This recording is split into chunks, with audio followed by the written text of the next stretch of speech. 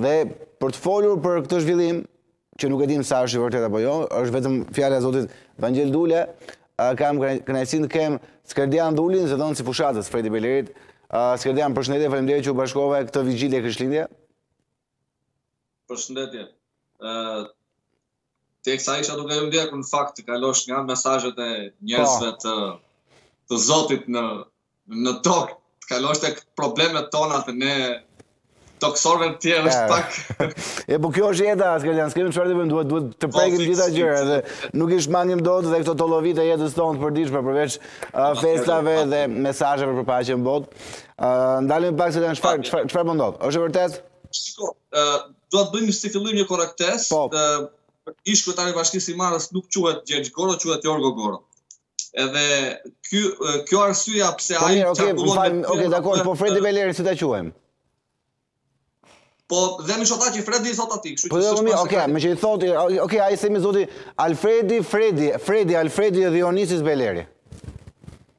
Po Alfred është emri i gjatë, Fredi i thërrasim në shkurt. Po pra, po po, edhe po për këtë pra, prandaj po them, meqë thatë për Jorgo Gorën që ka nuk e ka gjerë, për ka Jorgo do të po them, i drejtohemi Dionisis Beleri atëherë më mirë. Apo jo, se mos i hyjmë këtij debatit me emra a Skerdian se do bëhet një lëmsh i vërtetë, domos do do dalin të gjithë me 3-4 emra, kështu që jam dakord, po, vazhdo. Në fakt, nuk është se ka dhënë dorëheqjen Jorgo Goro. Jorgo Goro është shkarkuar.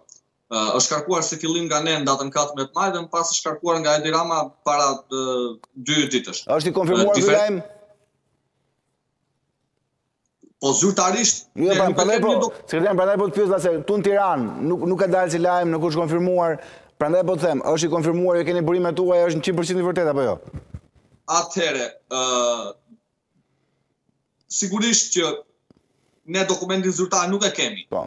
Por ajo që ne dim dhe që e kam të konfirmuar edhe nga staf brenda mm. bashkisë së Himarës, është që Jorgo Goro është larguar. Ë uh, sigurisht që nuk nuk kemi një dokument zyrtar për shkak se uh, ende nuk e dim zyrtarisht se si do të cilësohet. Pra, do të cilësohet si shkarkim nga ana e kryeministrit apo si shkarkim me dorëheqje siç ka ndodhur në raste të ndryshme kur zyrtarëve të caktuar u thuhet ik me dorëheqje, pra jep dorëheqjen për të mos u njollosur.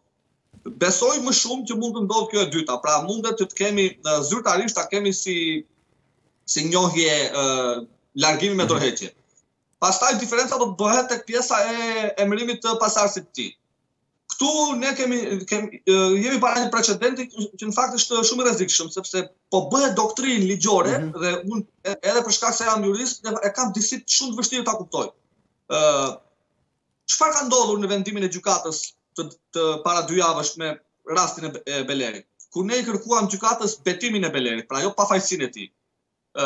gjykata, pra Edi Rama e gjyqësorit, i shkruan Edi Ramës kryeministër, po tani më jo me zarf apo me mënyra elektronike, po me vendim gjykate, që ti paske të drejtë të emërosh një kryetar bashkie.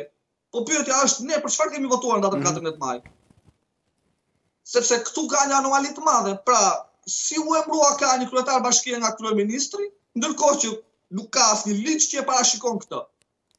sepse po të jetë se bazohemi te ligji, i takon njërit nga nënkryetarët e bashkisë të shkojë në detyrë, sipas ligjit, nëse jemi gjithmonë te ligji. Po. Por, me, me ç'po kuptoj unë, Edi Rama nuk ka ndërmend ta respektojë ligjin, të paktën unë kështu e kuptova letrën e tij publike të para dy ditve. Jo, pra, ishin citimet e vendimit, ato, nuk ishin letër publike, thjesht ai citonte jo, pjesë vendimit. Shiko, citimet e vendimit, por Gjuha e komunikimit ka edhe nën mhm. tekstin, pra ne kuptojmë ç'do të thotë në një farë mënyre nën rreshta në atë fazë. Ë në momentin që ai thotë i takon qeverisë qendrore, do të thotë që qeveria qendrore mekanizmin e vetëm ka emërimin e një administratori. S'ka një mekanizëm tjetër. Nëse flasim që i takon ligjit ta përcaktoj, ligji e përcakton qartë, mblidhet këshilli bashkiak dhe këshilli bashkiak përcakton njërin nga dy nënkryetarët me shumicë votash. Pra, nëse jemi tek ligji, mm -hmm. unë besoj që nuk do të ndodhë që ne të qëndrojmë te korniza ligjore, besoj që Edi Rama do ta emërojë vetë. Po, kjo është intuitë personale, jo uh, informacion ta theksojmë këtë përpërimë. Pas, pastaj, uh, pjesa tjetër është, është ajo që unë e thashë në nisje. është zhvlerësuar vota Thimi dhe ky është një problem që nuk lidhet thjesht me ne si si bashki apo me ne si koalicion opozitar me ne si Parti Demokratike e më gjerë. Është zhvlerësuar vota sepse unë në datën 14 maj kur kam votuar, kam pas parasysh binomin Edi Rama Jorgo Goro përballë. Në këtë moment kam votuar kundër tyre, sepse Fred Beleri nuk është se e kisha provuar si kryetar bashkie. Mm. Ideja është që çdo banor, në rastin tim unë jam edhe votues, por çdo banor i kësaj bashkie, ka votuar kundër këtij binomi. Tani çfarë diference ka që largohet Jorgo Goro dhe Edi Rama se do na vijë një Jorgo tjetër që do na sjellë prapë Edi Rama. Po ne po të ishte për të votuar për Edi Ramën, votonim në 14 maj, nuk kishim dalë kundër tij. Pra, kjo lloj anomalie në fakt është problem sepse krijon një precedent shumë të rrezikshëm. Krijon një precedent që kryeministri ë mund të krijojë rrethana të caktuara mhm. dhe nesër të zhvlerësojë votën e një komuniteti lokal. Po atëre bashkia e Himarës për çfarë shkon në zgjedhje? Pse nuk e kthejnë njësi administrative dhe të bëhet me emërim? Domethënë na fut në një proces zgjedhor dhe nga ana tjetër thotë ju keni zgjedhur një kryetar fitues. Po, po ai kryetari ai është në burg. Patjetër, ok, atëherë duhet, po ne prandaj kemi këmbgulur te betimi, po, po. Thimi. Mm -hmm. Sepse uh, sipas ligjit, kryetari betohej dhe njëri nga dy nënkryetarët e, e bashkisë, kaq ka bashkia Himarë në organikë, komandohej prej tij për të marrë detyrën përkohësisht derisa të përfundonte procesi ligjor i tij. Pra, ë përtej rezervave të mia si jurist për pjesën e dosjes, po. në themel, po ne po flasim këtu për pjesën e institucionit, për pjesën politike. sepse bashkia në fund të ditës është institucion politik për aq kohë sa del nga vota. Pra, duke lejuar betimin e kryetarit të bashkisë Himarës, do, nuk do të kishim arritur në këto andralla sot, ku jemi në një situatë që është zhvlerësuar vota dhe vota, nuk është çështja se është zhvlerësuar vota e 4.000 personave, por precedenti që krijon kjo është shumë i rrezikshëm sepse sot i ndodh bashkisë Himarë, që është një bashki shumë e vogël, po nesër mund t'i ndodhë një bashkie shumë më të madhe në Shqipëri. Mhm. Kështu i teket kryeministrit, për rrethana të caktuara thotë, nuk më pëlqen më kryetari i bashkisë, emron një administrator. Nuk duhet të funksionojë kështu në fakt, sepse ë do duhej që të ishte lejuar betimi i Belerit, të kishte shkuar në zyrë njëri i komanduar prej tij, dhe më pas procesin e Belerit le ta vazhdonin derisa të, të përfundojë. Mhm. Pra, ë ajo që unë shoh në fakt dhe e thashë, nuk është se e kam informacion, domethënë, nuk e di se si, se si këta do ta largojnë Jorgo Goron, nuk e di se cila do të jetë uh, artificia ligjore. Po unë di të them që uh, Jorgo Goro shumë shpejt do shkojë në burg, sepse sipas të gjitha informacioneve, uh, Edi Rama më në fund do të japë okejn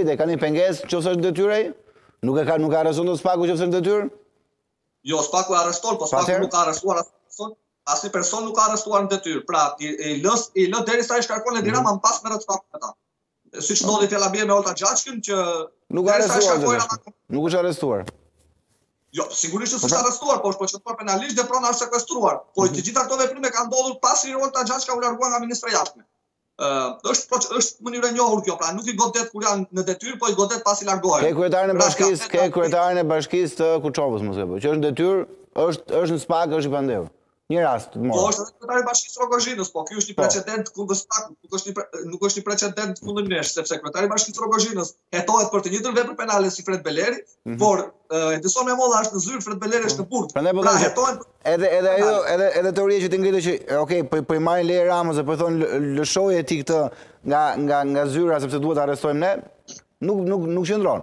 Sepse kemi edhe rastet kur personat janë në zyrë dhe janë arrestuar, ose janë proceduar. Përveç Safet Gjicit që është një histori tjetër, po. E dimë. Po. Të tjerët, shikoni, për shembull, uh, unë për shkak të eksperiencës time të punës, disavjeçare, dhe uh, sistemin shëndetësor e njoh shumë mirë. Tani, si është e mundur që Ilir Beqja, për shembull nuk është në burg, po është i lirë.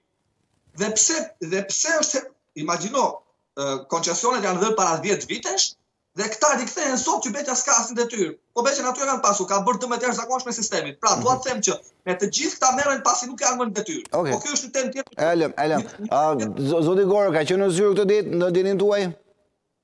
Po, ka qenë në zyrë, madje ditën e premte, kur ka dalë edhe letra publike e Edi Ramës, ai ka qëndruar rreth 6 orë mbrëmjen e të premtes, më falë, ditën e mërkurë, mm -hmm. para 2-3 ditësh, kur, kur po. doli kjo po. historia e, e tij, ai ka qëndruar rreth 6 orë në, në zyrë, me stafin e tij të ngushtë, duke dhënë urdhrat e delegimit të detyrës, pra për shkak se ai e di që besoj unë ditën e martë, për shkak se e hëna është pushim mhm. zyrtar, ditën e martë ai besoj që duhet të dorëzojë zyrën, nuk di, askush nuk di se kush do të jetë pasuesi i tij. Pra emrat që përfliten janë shumë, sepse të thashë, qoftë unë, po qoftë edhe zyrtarë të caktuar të Partisë Socialiste me të cilët unë kam komunikuar, nuk kanë informacion nëse do respektohet ligji, apo do ta vendosë kryeministri në mënyrë ekstraligjore. Nëse do respektohet ligji, është njëri nga dy nënkryetarët e bashkisë. Mhm. Ndërsa nëse do ta vendosë kryeministri në mënyrë ekstraligjore, pastaj kemi do të kemi një po, precedent tjetër. Po prefekti, çfarë roli ka? Më fal? Prefekti i Qarkut.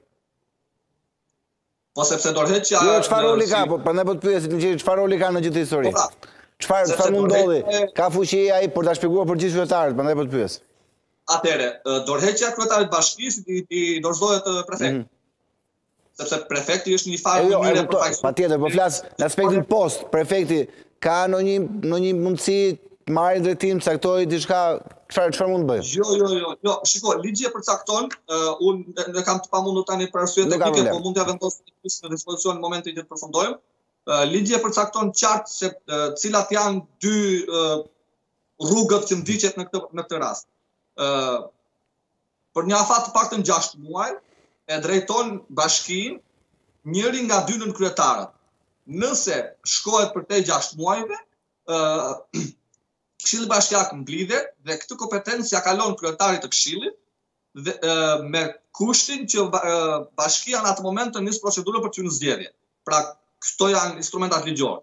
Nuk e dimë se cila do të ndodhë sepse e, e thashë edhe vetë shtabi elektoral i i Partisë Socialiste në Himarë nuk ka një informacion se çfarë do të ndodhë me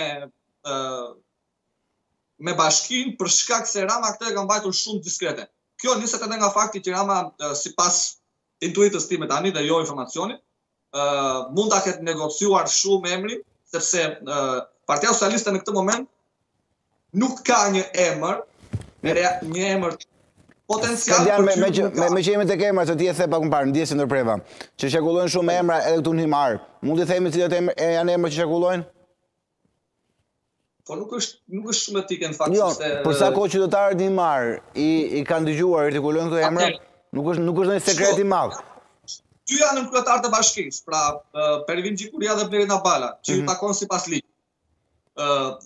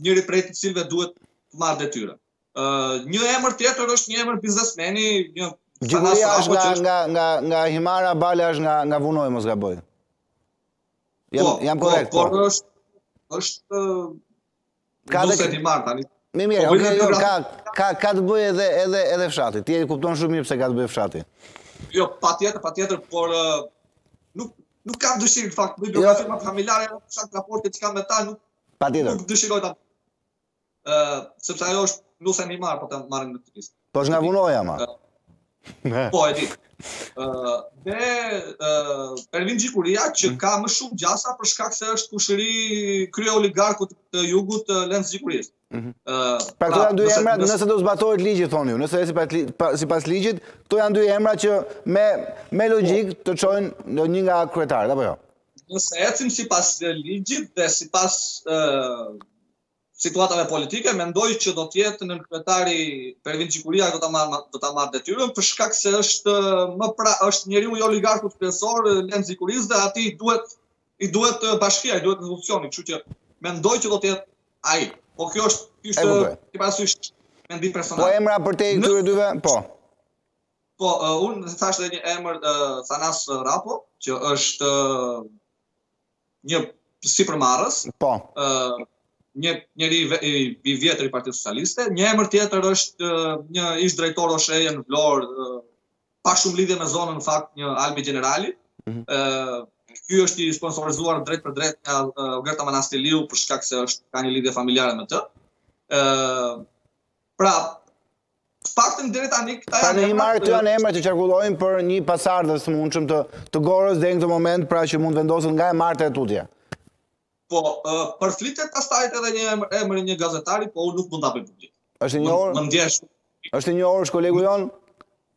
Po patjetër, patjetër. Mos është Stavri Marko. Jo, jo, jo. Po nuk... e përshëndesim Stavrin. Oke, okay, po. nëse do të dalim jashtë, pra nëse do të shkojmë tek emri i kolegut tuaj për shembull, do të jetë një farë mënyrë një pakt i heshtur i Edi Ramës, kjo kërkojnë të zbusë tensionet në zonë, po mendoj dhe tani po bëjmë pak gjeopolitikë, dhe tensionet në Athinë. Pra, do kërkojë një emër që të jetë i Ramës, por që të jetë i pakontestueshëm nga Athina zyrtare. Mendoj, pra nëse do të jetë rasti i kolegut tuaj. Nëse do të jetë rast brenda partisë, pastaj s'ka asnjë, asnjë diferencë. Unë kam, kam dy emra që, që janë nga ajo zonë. A është nga ajo zonë apo jo? Të lutem, mos, Mirë, mos është, më fut më nësë. është nga Piluri apo jo?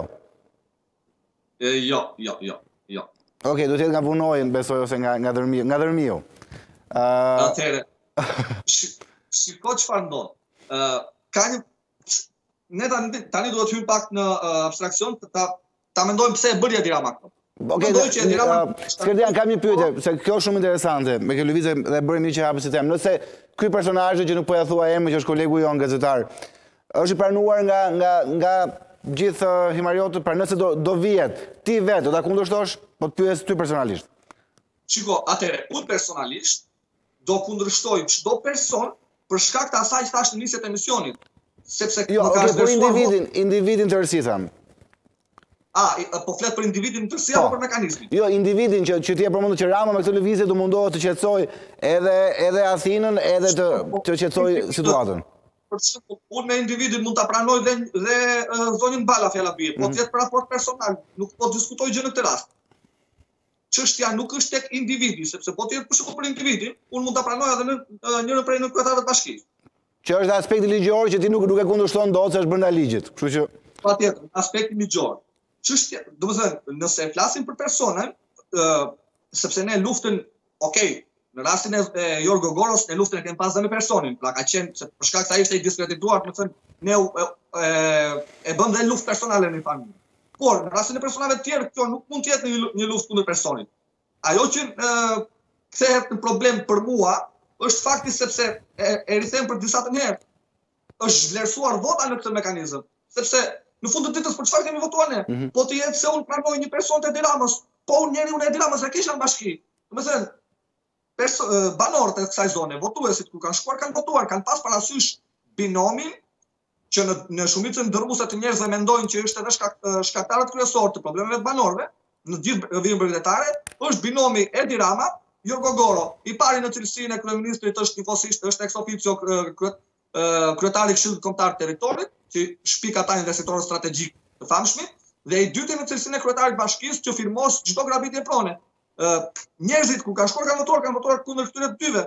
Tani si është e mundur që vota jonë zhvlerësohet dhe Edi Rama shpik një mekanizëm ekstra ligjor dhe thotë, "Ok, pavarësisht se si keni votuar ju, në fund kryetarin e bashkisë do ta votoj unë, do ta uh, vendos unë." Pra, unë këtë si precedent nuk mund ta pranoj, sepse nëse pranoj këtë precedent, problemi është që kjo nesër kthehet në normë, dhe kjo mund t'i ndodhë çdo bashkie të Shqipërisë, pra nuk mundet që ne ta kthejmë anormalen, ta bëjmë normale, duke qenë që pranojmë se kushtet na qenkërkan të, të tilla. Jo, në fakt, kushtet nuk na imponojnë një zgjidhje ekstra ligjore.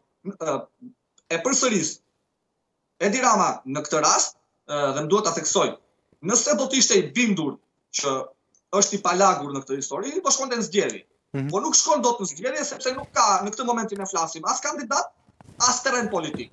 Dhe po mendon që të zgjedhë, të sjellë një emër nga jashtë, pra o nga Tirana o nga Athina, dhe këtë emër ta komandojë disa muaj dhe më që më pas të shtrohet terreni për të shkuar në zgjedhje. Pra, personi të mësohet me terrenin dhe të shkojnë në zgjedhje. Pra, uh, ai që do të jetë i komanduar në këtë moment, do të jetë automatikisht edhe kandidati i Edi Ramës nëse bashkia do shkojë në zgjedhje. Po kjo nuk duhet të ndodhë. Pra, do më thënë, Edi Rama sot nuk shkon dot në zgjedhje, se e di çfarë ndodh. Domethënë, nëse nëse rezultati i Belerit u ngushtua për shkak të prangave, sepse ai ishte në burg dhe duhet të kuptoni që ka dhe njerëz që ë intimidohen nga kjo pjesë sepse ndodh për herë të parë në Shqipëri që votohet një kryetar bashkie në burg. Ju garantoj që nëse shkojmë në zgjedhje të dielën e parë të mundshme, Edi Rama humbet me me 20 fish apo 30 fish të atyre votave që humbi. Dhe ai këtë gjë e di sepse Rama është një një manjak sondazhesh, mm -hmm. e, e aq më tepër që zonën e, e bregdetit e njeh shumë mirë edhe për shkak të gjysmë origjinës së tij. Pra në një farë mënyre ai është i apdejtuar me të gjithë situatën në terren dhe e shkarkoi Jorgo Goron në një farë mënyre për shkarkuar tensionin, për t'ia lënë atij përgjegjësinë dhe të vijë në një situatë kur të thotë në një moment caktuar që shikoni uh, Jorgo Goron unë jua kisha zgjedhur dy herë dhe mendova se po ta zgjidhin për herë të tretë, për herë të katërt, më fal. Mm -hmm. Dhe e rikandidova, kështu që tani okay. lamëni nga mëkatet si si si Skërdian, kam një pyetje, sepse ne, ne, ne, ne kolegët na intereson kjo pjesa. Gazetari, është gazetari në Shqipëri apo në Greqi?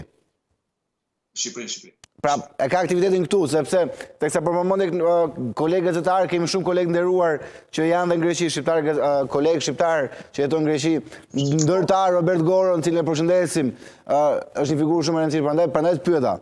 Është gazetar që është aktiv në Shqipëri, jo në Greqi. në Shqipëri, në Shqipëri. Shiko, ka diçka, emrat qarkullojnë, që të mos, sepse Jo, emrin e kolegut mos e thuaj sepse ka ka një problem dhe ti e di shumë mirë. Që emrat që që po, thuhen publik digjen. Kështu që më mirë mos mos mos mos e prishim punë kolegut tonë gazetar. Po jo vetëm kaq, po qëndron një problematikë tjetër që ne në një farë mënyrë duket sikur po ju